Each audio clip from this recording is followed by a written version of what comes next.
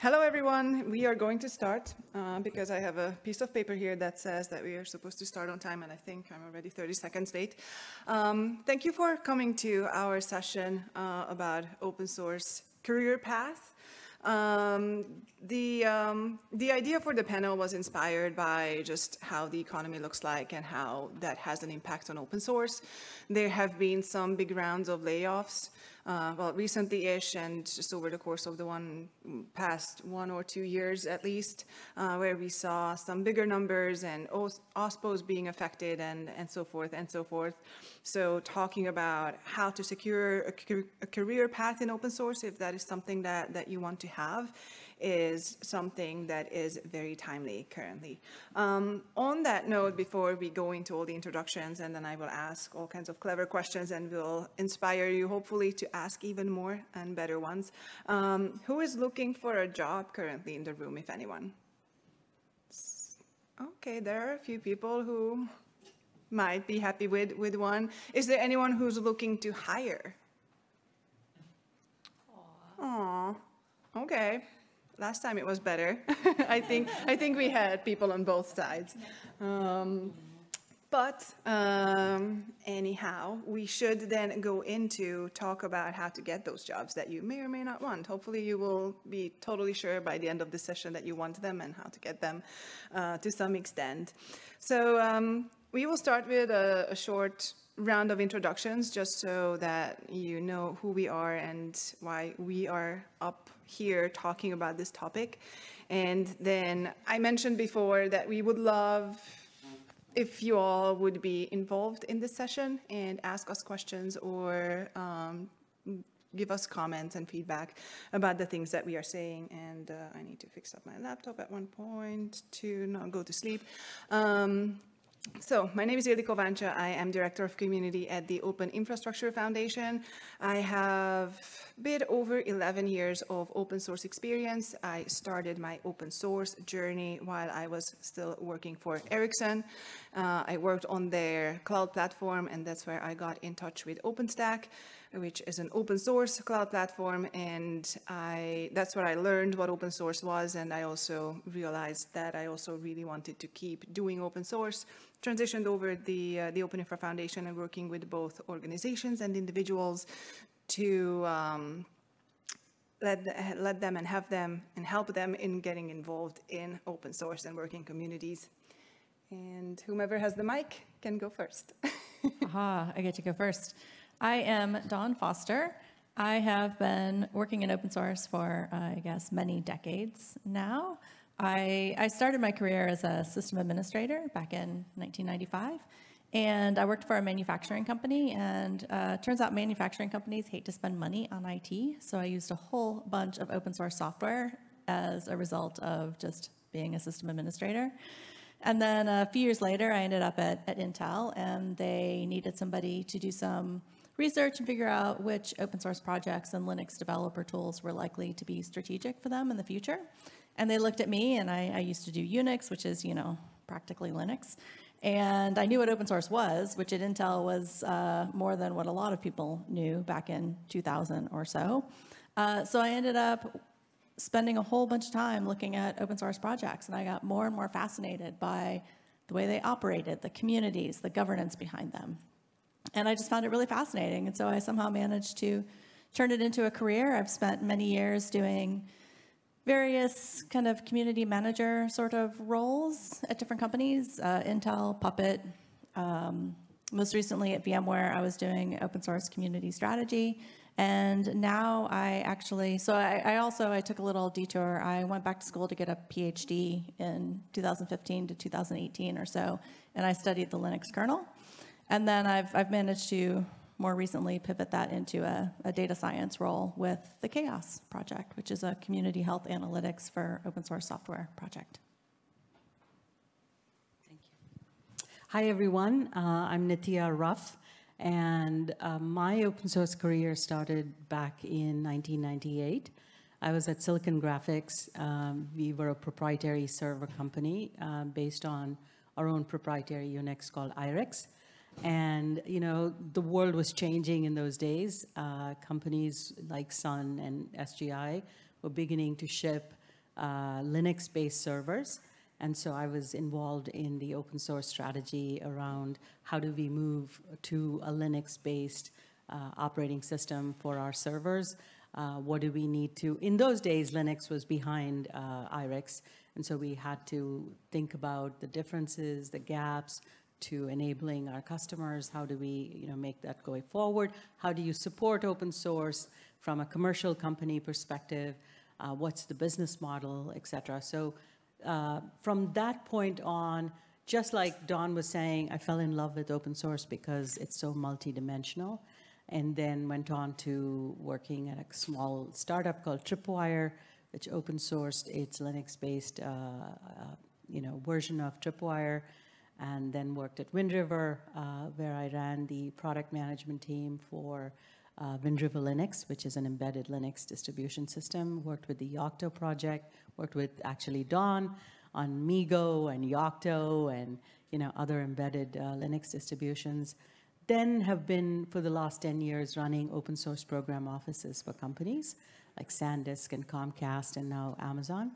And it, it's really uh, helping companies navigate, you know, their open source strategy and contribution strategy. I also uh, sit on the board of the Linux Foundation. Uh, that's my community hat, and then uh, my corporate hat is at Amazon. I'm Allison Randal. Um, I also started my career in open source in the late 90s, uh, working at a web startup that was at the time one of Amazon's competitors back when all Amazon sold was books, so you could have somebody who was a competitor. um, I helped them with the migration from C to Perl of their CGI scripts, which if you've ever written CGI scripts in C, you know that's a terrible idea. Uh, but so I kind of, from, you know, uh, using Perl at work, I went to teaching Perl at a local Linux user group, and then I started working on the design for the next version of the language, became project manager of that, and then president of the Perl Foundation. Um, and from there, I mean, I've had tech, sort of the technical track of being like technical architect of Ubuntu and a Debian developer and, you know, um, but also the track of once you're on one board, you start finding that you have skills that kind of transfer to other boards. So I've also served on the board of the Python Software Foundation, um, Open Source Initiative. Uh, I'm currently chair of the board of Software Freedom Conservancy and on the board of Open Infrastructure Foundation. Um, whereas in my technical role right now, um, I just finished a PhD at the University of Cambridge in hardware security. Uh, so I work at a research group connected with the University of Cambridge that develops something called the CHERI architecture. So it's a secure hardware architecture, helping them, they've been focused on BSD, so helping them figure out how to also support Linux. Um, I think, yeah, like for me, it's always been sort of this balance between the two, my technical interests and my sort of, uh, I would almost say human interests you know, the governance, the community building, that sort of thing. And I think they go hand in hand. Like the technology wouldn't be nearly as interesting without the human side. And the human side for me would not be enough to keep me engaged uh, if it wasn't also some of the most interesting cutting edge technology on the planet that we get to play with. And we have a lot more freedom to play with it than we do if, you know, it's just an employer telling you, you must do this and this. You can actually think, well, what would be the best thing, and not just for this one company, but for hundreds of companies. Um, so I think that's kind of what keeps it interesting for me. Thank you. Um, to be honest, I'm already kind of learning uh, just from the introductions of, of everyone, like it's never too late to, to learn something. If you want a PhD, go ahead and do it whenever it feels like the right time for you. It's never too late. Um, and with just hearing all the diverse backgrounds and, and the various ways to approach open source, I would like to ask the panel, what advice do you have for people, like the few people in the audience who are looking for jobs? Like think about interview tips or, or what kind of strategy should go into finding a job and not just a job, but some job that has something, some relation to open source.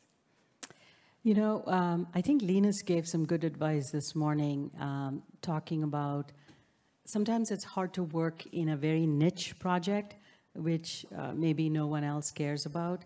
Um, It's, it's easier if you're working in a project that uh, either companies adopt or organizations adopt, or there's a lot of interest in, because then there are a lot of jobs around those projects. I'll be honest with you, companies hire based on the projects that they're dependent upon.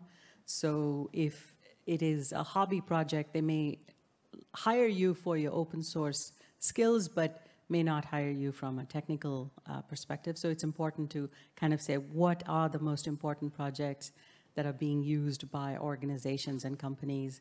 And, us- and starting to develop, you know, a, a reputation and trust and uh, skill in, in that area. And I would say be much more broad in your outlook. Uh, As, as we have indicated, uh, there are foundation roles. You can join foundations. There are uh, university roles. University and the government are adopting open source more and more, uh, not just companies. And I would say uh, make sure to uh, be present on LinkedIn and, you know, X platform, talking about your open source work so that people recognize, you know, you as an open source person. Yeah, one of, one of the interesting things about open source projects is it really is, they're, they're just great ways to meet people who work for lots of different companies. So, you know, during the keynote this morning, one of the things that Linus mentioned is that, you know, you can work on some project that's your passion project, but if nobody else cares about it, it's hard to make something that's successful. And so I would say if you're, if you're looking for a, a job in open source, I would look at where the companies are. So if you look, for example, CNCF projects, there are loads of companies who are, their employees are contributing to these CNCF projects.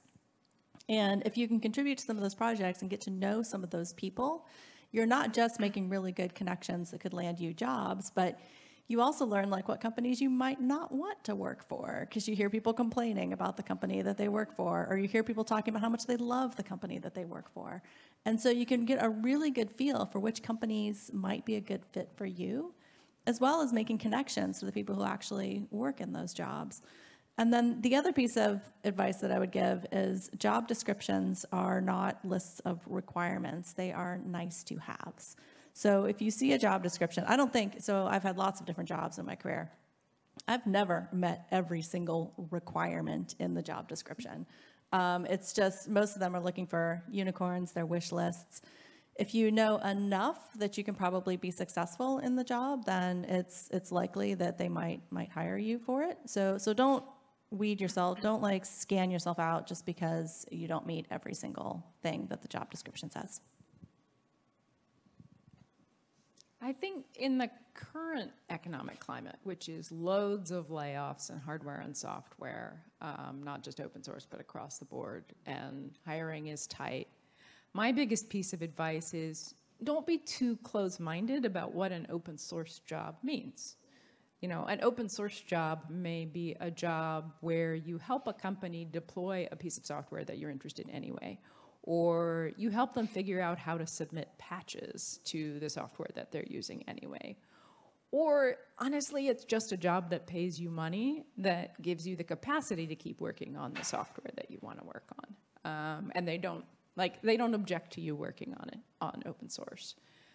Because the thing to keep in mind is the economy swings up and down. So it may be a down economy right now, jobs may be tough right now, but what you do with your time at work and outside of work now between now and the next boom can radically change what you're doing in the next boom. Uh, because when you build the experience and you become an expert in in a skill set even if they're not hiring right now but it is a desirable skill set then that could mean in the next boom, then you do get to work on open source software full time, or you do get that very senior technical position instead of the junior one you're in right now. Um, so it's basically just sort of broaden your horizons a bit. So what I'm hearing is that if someone wants a job that has relations to open source, then they need to be active, they need to be visible. Um, they need to go and uh, make new connections, meet new people, and listen to what they say about not just the open source project specifically, but maybe about the place where they work and contribute on behalf of. Um, I know I'm an introvert, and I think a few of us on this panel are introverts, so it, the part of going out and making a lot of new friends, it's not always easy, but I can definitely say from personal experience that it really does pay off, and not just because of the open source friendships, but um, like connections are really important to have even in, in open source or even more in open source and also be open-minded in terms of how you're building up and, and growing your career and don't necessarily be super focused on one particular thing that you think you want today, but maybe it's not something that you will want tomorrow.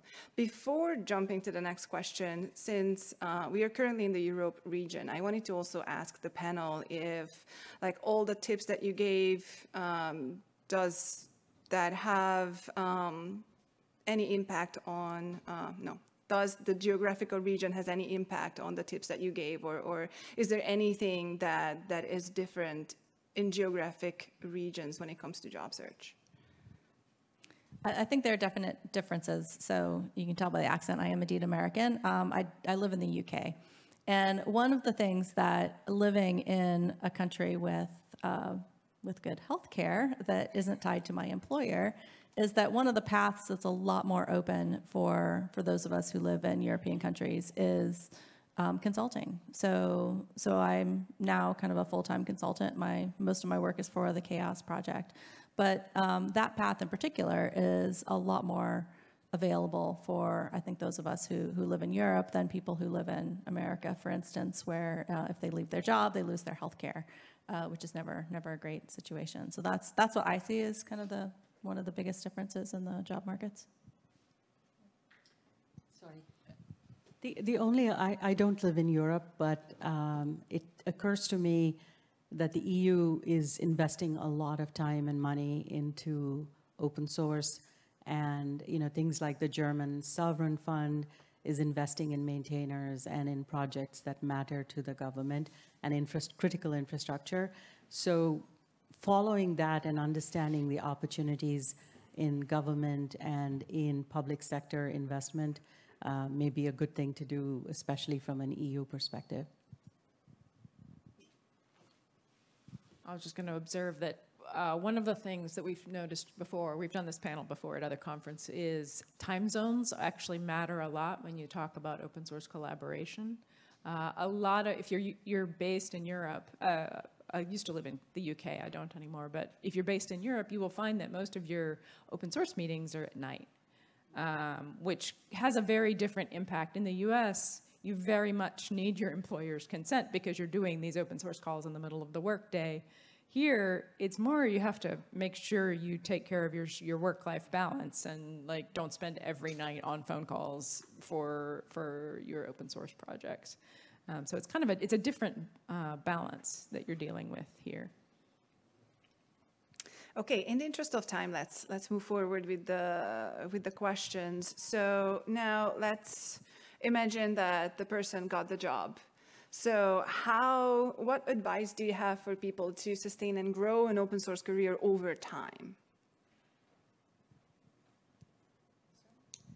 So from a company perspective, I would say it's really important to understand the role open source plays in your company. You know, why does your company use open source? What are the key projects it depends upon? How does it view open source? What are the policies in the company? Is there an open source program office? Because you want to make sure that you're in line with how your company uses open source. You want to balance, you know, what you do in open source with your company's uh, business objectives on open source. Let's face it, practically speaking, your paycheck is coming from your company and you want to make sure your company is successful in open source while at the same time making sure open source is successful. It's not one or the other, it's both. I would also um, very clearly explain, um, you know, to your manager that you your requirements, right? That uh, that you need some time to contribute to open source, or how should you approach it? understand the policies around how you make contribution, how you participate in open source in your company, and adhere to those policies. Uh, Because at the end of the day, you want to be successful, and you don't want to uh, get some of these things in the way. I would say if you know if you want to have a career in open source over the long term, one of the most important skills you can develop is being able to describe the work that you do in terms that your company actually cares about. So building on on what Nithya said, because I have seen I have seen so many um, people who work in open source who, when their manager asks them why they're doing this, it's like, oh, it's the right thing to do. It's you know, it's good for the community, which is true. But it sounds in their mind, they're going, that sounds like charity. That doesn't sound like something I should pay someone to do. Um, so you really do need to learn about why your company cares about the technologies that you're working on and how it fits into their broader strategy.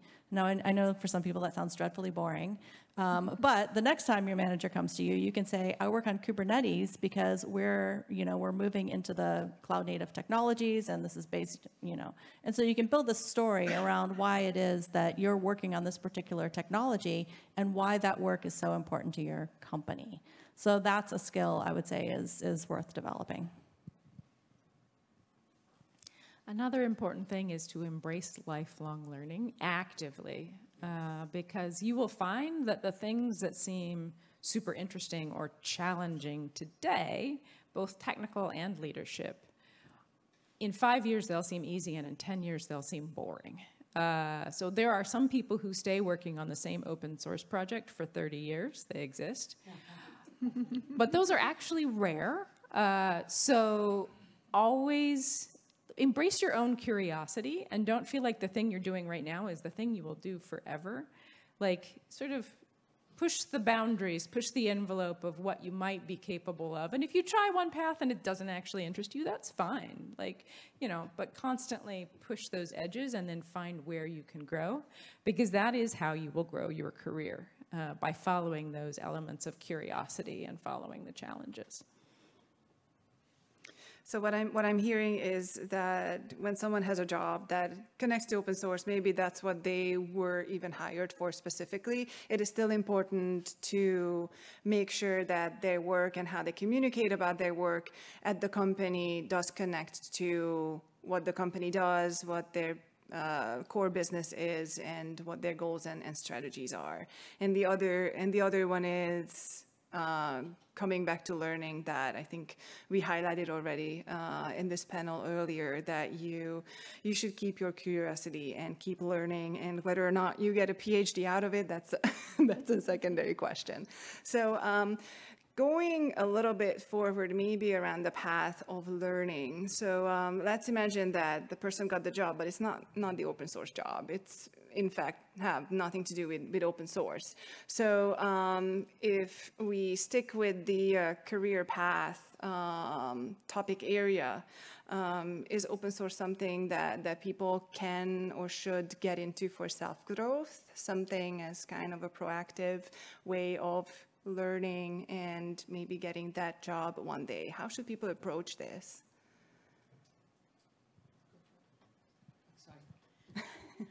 There have been many times in my career where, for a practical reason perspective, I, I needed to earn a living.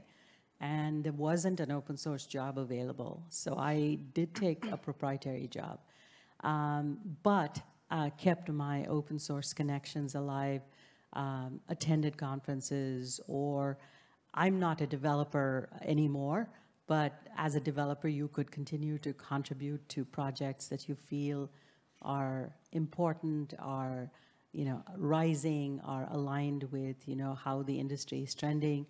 That then keeps your open source uh, career alive while you're practically making a living and and and then you know in, even inside a company you can very curiously go talk to your OSPO or talk to someone who's doing open source in your company, be friends with them and see if there are opportunities to join that team. So there are uh, ways to uh, navigate that. And I do think it's a really it's a really useful way of learning new skills. You know, I don't know about you, but if I if I want to learn something new, just reading a book or doing some tutorials and, and trying to learn it without having some kind of purpose behind it is really hard for me. But working on an open source project gives you that, that purpose, right? And so a lot of people, so if you look at Kubernetes, for example, a lot of people get involved in Kubernetes because they want to learn Go, because it's, you know, hot new programming language and, um, you know, interesting project. And so it's, you know, it, you can look at open source projects as ways to learn new technologies or learn new skills or get involved in just something that you find interesting. Okay. Um, we have roughly 14, 15, 14 minutes left. Um, does anyone in the audience have a question or would like to reflect to? We only have one microphone. Thanks. Uh, Karla Nieminen is the name. But uh, question is um, if you have some uh, tips like how to showcase your uh, knowledge, like for example, certain certifications or courses, or how to show your like best structure your GitHub profile, or how to best structure your project experience. Of course, it depends a lot like what kind of specific knowledge you have, but any, any tips on that topic is interesting to hear. Thanks.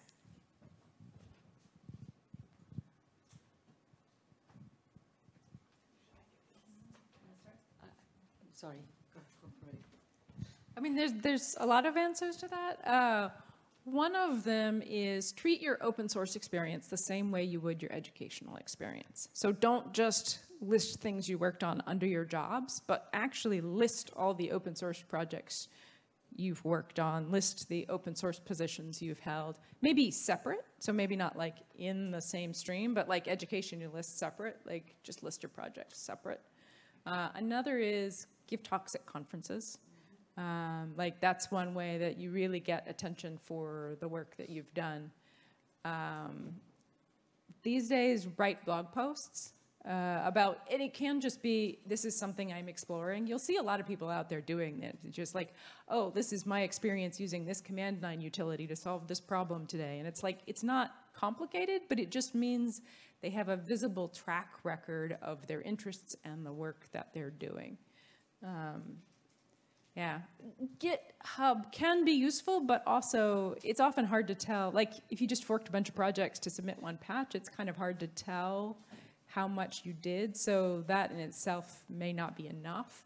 You kind of need to provide some context, and that's why the, the resume can be helpful because you're like, or CV can be helpful because you can provide some context around what you were doing instead of just, here's my GitHub profile. Yeah, so plus one to everything Allison said. One thing I do on my website is I have a speaking page which has all of the talks that I've given over the past, I don't know, more than a decade or so. And so, so that's a good way for people to see the things that, that you're working on. Or that could be a list of blog posts or podcasts or whatever, whatever your thing is. But have a place where people can go to find that.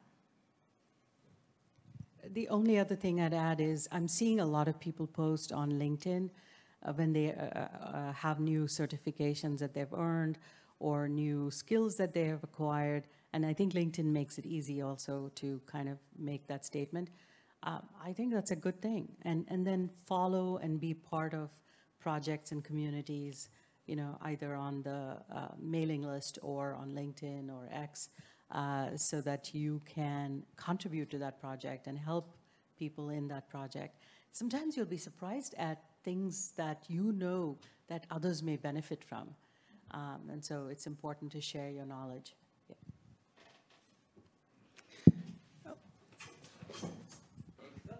And I'm going to just stand because it's hard to read on. Oh, this, this gentleman here. Hello, I'm Rishikesh. Uh, so I've contributed to a few open source projects uh, via the Linux Foundation mentorship. The problem, uh, like uh, what I've seen is during this mentorship phase, we have like three months of time where we have uh, time to design, think about a software and then develop on top of it. But now I'm a working professional and it's pretty difficult to contribute to open source project given the rate of development in open source is pretty fast and uh, uh, to cope up with it after, uh, you know, working for a lot of time in an organization, like at a company, coming back home and doing uh, contributions again is pretty difficult. So how do uh, beginners like this address such issues and make an impact?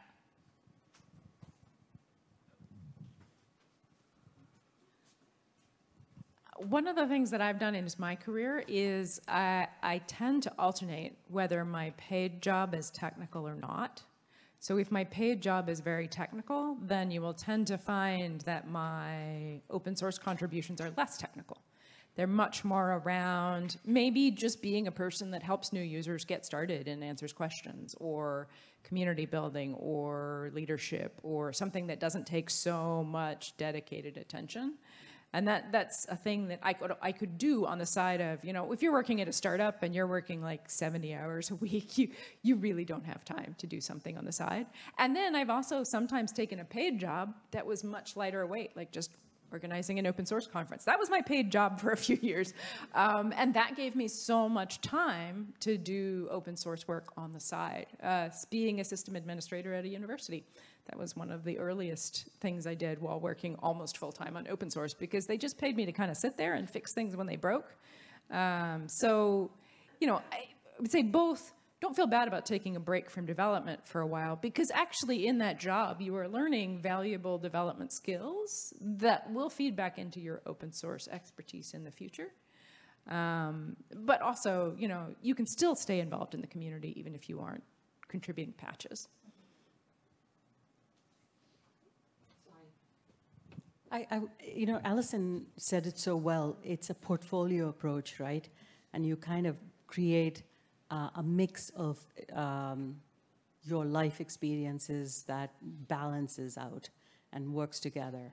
And also draw boundaries on your corporate job also. Uh, don't be burning out such that you have no time to live or to contribute or to do anything else, right? And, and you have to work smart, not hard. You don't need to do 70 hours. Um, and most people, and you can just do one hour a week, set aside one or two hours a week to do open source, whether it is just scouring the web uh, or answering questions or whatever. Um, that one hour adds up over 52 weeks, and, and so you start building, you know, that competency. Uh, open source jester. yeah, basically. Dr. Jester. Yeah. Yeah, thanks, Nithya. Actually, it's, it's more like an emphasis on what has been already covered. And from my personal experience, I can only say don't focus too much on the code. Because as the more niche a project gets, the more enthusiastic and talented coders are there already. What they are all struggling with is like somebody who is just handholding newbies or writes stuff on LinkedIn or just if, if you look at me personally, who grabs a laptop at the terminal and just does random things in order to help others. Um, not going into details too much, one of so, such uh, niche projects I'm very active with, I have basically worked all my way from a total newbie to the, let's say, core people there, and I uh, don't have a single line of code contributed there. Not even in, in the documentation. Zero, nada, not a single patch. And uh, if, if, you're, uh, if you're in open source, that does not mean it's only about code. It is about you as a person. If you're enthusiastic, do what you feel is right and what might help your project. If it is one that helps your company, good. If it is one that is dear to your heart, also good. You, it, the choice is, is yours do, do that, what feels right, and somebody will acknowledge it, I would say. And one, one last word about niche projects. Yes, it's not as cool, but it's way easier there. Because if you're trying to break into Kubernetes, then you're competing with like a couple of 10,000. If you are trying to break into Yocto, then you're competing with nobody, essentially. and, and there's a lot of other projects like that. May I just grab the, phone, uh, the microphone and add to that? Um, I can just stress what, what the guy before me said. I'm in Linux and open source for almost 25 years now. I'm a Linux system administrator, with the same company for 23 years. And I can also stress what Allison said, because although I've been an admin for such a long time, my journey was uh, going back and forth. And if you keep uh, your eyes open and the heart open and are curious about things, my job has changed so much when I think back to the hardware that I had to take care of like 23 years ago and the, the stuff I'm doing now where it's basically all virtualization and stuff. And you learn so many things, and the beauty about open source, um, especially in the last couple of years, it's open source is so many things. It's not only Linux, it's not only coding, like the guy before me said. I have basically only written a few shell scripts, and I don't really code, but I still consider myself a core Linux and open source person. And if you want to really start out, you can look out for projects on the net that need help with basic things like documentation or translation. So dip your toe into it, and, and I'm sure also a good thing is if you have Linux users groups in your area, get to know the people because they usually have open source jobs and they can tell you about the companies that are in the area and, and you know, you grow your network and you grow uh, a circle of friends as well. Amazing, thank you. You all want to reflect to any of the points? Okay.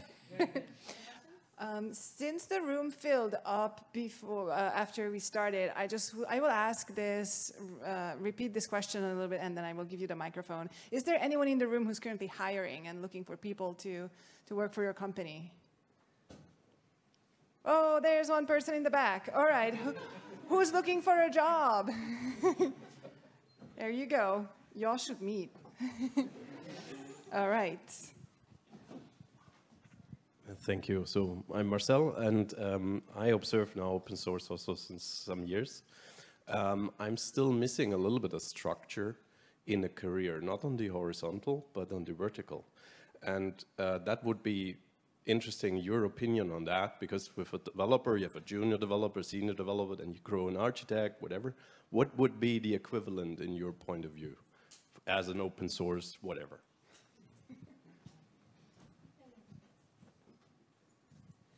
So from uh, inside a company perspective, um, you know, a casual contributor to becoming um, a committer and maintainer, uh, and those are pretty good positions. And maintainers, for example, at Amazon are principal engineers and senior principal engineers. Um, that's a darn good position. And then um, we have people in the OSPO, Open Source Program Office, guiding other open source developers to contribute as well. So take your knowledge and scale it across the company, across the industry. So those are all pretty senior positions. Uh, clearly, as my colleagues have indicated, you can have uh, increasing governance and leadership positions in foundations, sitting on boards, or you know, being an executive director or a director, as uh, Dawn is. Those are also, uh, you know, vertically leadership positions, I would say. Um, so those are a few ideas. Yeah, the thing I would add to that is I, I really recommend that people spend some hard time thinking about what they want to do because it's really easy to just get pushed up that ladder by your employers. And then pretty soon, you know, even in a lot of cases, like principal engineers and senior principal engineers, they don't write much code. Um, maintainers don't even often write a lot of code. They spend a lot of time reviewing other people's contributions and merging those. And if what you really want to do is write a bunch of code, then maybe you don't want to go all the way all the way up that ladder. So think about about what you really want to do and what you love and what your passion is, and then find roles that allow you to do that. And sometimes it's moving horizontally rather than moving moving up the up the ladder. The thing I'd comment that's different between companies and outside of companies is in companies you tend to have technical track or management track. Uh, some companies have technical track roles that are all the way up to the very top. I had a distinguished engineer position at HP that is it's equivalent to director of engineering. Actually, they gave me both hats for some reason, but they'd go all the way up to fellow, uh, which is like senior VP kind of level. So they will have technical track and but they don't tend to let you usually i did do both at the same time they don't tend to let you do both at the same time whereas in, in open source you can absolutely be on the board of directors of the foundation for the project and at the same time be contributing patches or be a maintainer or even a pro- technical project leader as well um, so you tend to be able to embrace your interests a little bit more flexibly outside of companies than inside of companies and inside of companies it's often very hard to switch from one to the other Whereas outside of companies, it's actually often very easy if you're just a technical project lead to go over to that board track because they really want people engaged in governance, or the good foundations really want people engaged in governance who also understand the technology. Um, so it's really valuable to have people with development skills kind of crossing over back and forth uh, on those boundaries. And with that, we are unfortunately out of time. One thing that, that I, would, I would say um, before we depart from the session is that one of the advices that the panelists gave was to make new, new connections, meet new people, and, and talk to them that can help you get into an open source project, that can help you land your new job. You saw in this room that there are people who are hiring, there are people who are looking for jobs. Um, so use the opportunity while you're here at the event to, to meet new people. And if you have to force yourself a little bit, then it's worth it. I promise. I, it's not something that I'm good at, but it is really, really worth it. And also, please come up to us and, and talk to us after the session. We will be here or find us on various, I don't know, social media platforms, chat platforms, um, we, we do everything to be very visible, so find us and talk to us. And thank you for being here at our session.